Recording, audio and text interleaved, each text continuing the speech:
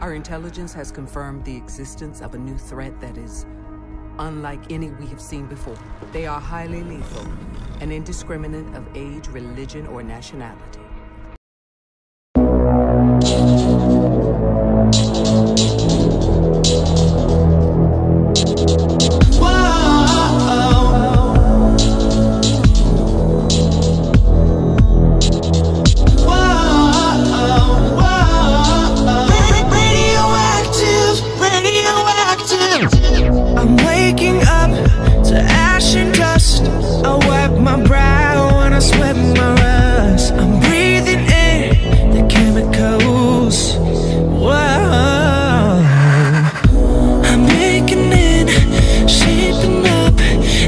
chicken out.